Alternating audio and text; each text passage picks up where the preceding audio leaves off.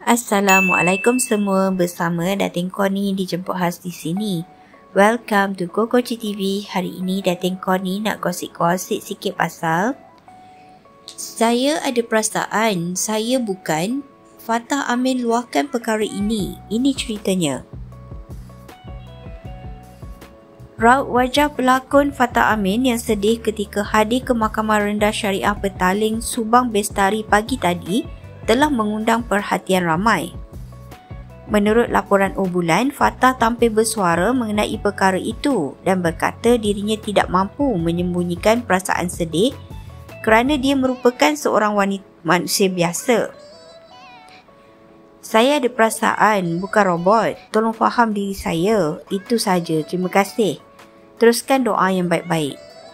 Pihak media juga sempat bertanya mengenai tindakan Fazura yang memfalkan cerai sehari sebelum ulang tahunnya tapi Fatah meminta agar soalan itu ditujukan kepada Fazura sendiri. Itu tak boleh tanya saya kenapa sehari sebelum. Apapun semoga urusan pasangan selebriti ini dipermudahkan. Ya, kejap-kejap. Nak lihat apa seterusnya? Subscribe dulu, okey? Okey, sedikit ya. Janji-janji. Okey. Satu, dua, tiga. Okey, subscribe. Terima kasih. Dengan sumpahan mulut aku.